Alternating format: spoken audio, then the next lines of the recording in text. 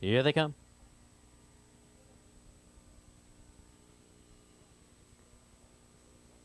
They're often pacing, necessary roughness.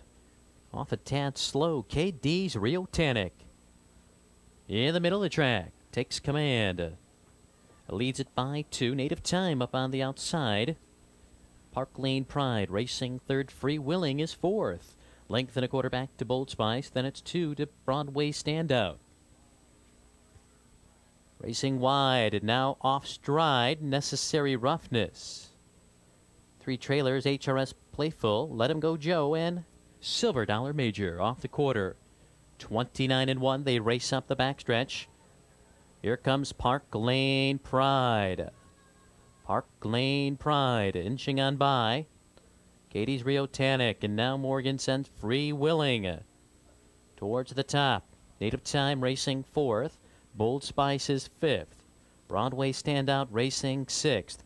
HRS Playful racing in seventh. Let him go, Joe saves ground. Necessary Roughness and Silver Dollar Major. Half timed in 59 and 3.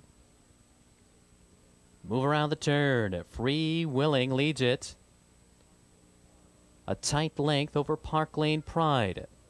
Bold Spice inching a closer third. Katie's Rio Tannic racing in fourth. HRS Playful. Well positioned on the outside fifth. By three quarters, it's Free Willing, the one to catch. Three quarters, 130 and three. Free Willing out in front by two. Park Lane Pride. In pursuit, Bold Spice.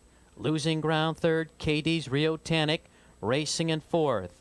Then it's HRS Playful. Let him go, Joe. Uh, a 16th of a mile ago. Free Willing out in front now in deep stretch. Free Willing holding on to win it. Park Lane Pride and KD's Rio Tannic in 158 and 4.